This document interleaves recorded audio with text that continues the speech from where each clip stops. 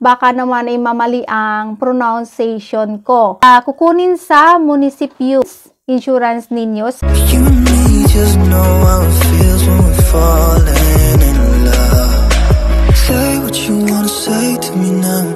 I wanna wake up with you in the morning. Hello guys! Welcome back to my YouTube channel. So for today's video, I'm going to share you about the requirements for applying a Turkish residence permit. So uh, if you are new in my YouTube channel, so please don't forget to click the like, uh, subscribe, and turn on the notification bell para updated kayo sa aking mga susunod na videos.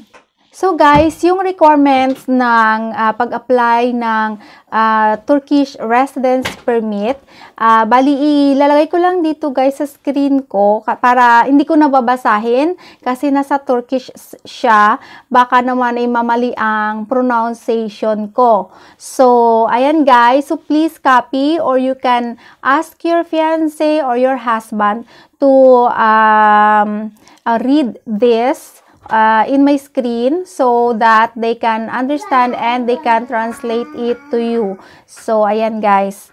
So, this requirements is from my my friend that he just she just applied this uh, January to 2023.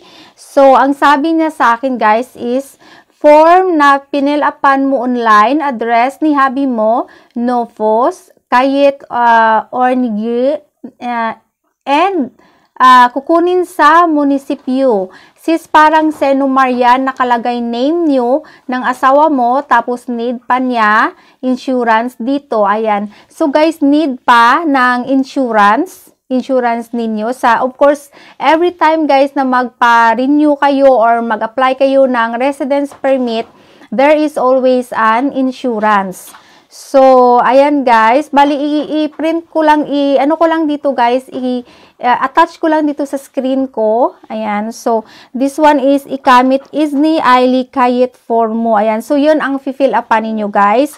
Ayan, insurance ng nag-a-apply.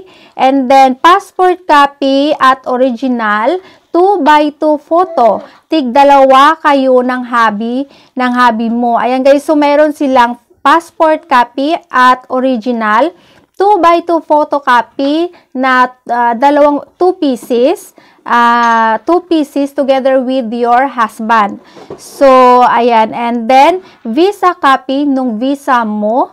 May tatak dito pag entrance mo nung pagdating mo dito. So, yung, uh, yung may yung na, may nakalagay na visa sa passport ninyo at yung mayroong nakatatak na pag-entry mo dito sa Turkey.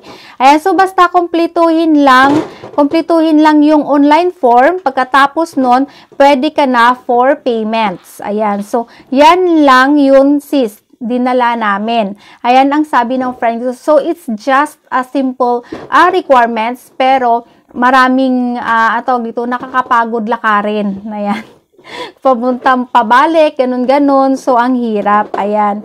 So, ayan guys, I would just like to say thank you sis, Sisi Ivo sa pag-forward mo sa akin ito. I'm sorry kung hindi ako masyadong naka, hindi na tayo masyadong nag-uusap kasi alam mo na uh, kakagaling lang namin sa sakit. Ayan guys, so sa mga sumabay, sumabaybay sa aking mga videos, I would like to say thank you from the bottom of my heart. Ayan, thank you, thank you so much to all my new subscriber. Thank you, thank you so much. At sa mga nag-watch and like my videos, at sa mga hindi pa nakapag-subscribe, please subscribe to our YouTube channel. Ayan. Okay, so thank you, thank you so much guys. And uh, ayan, see you in my next vlog. Hindi ko na to patatagalin. Ayan, thank you, thank you so much and God bless all.